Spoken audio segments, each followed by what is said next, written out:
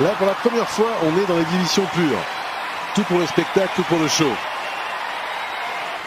Et voici Ken Roswell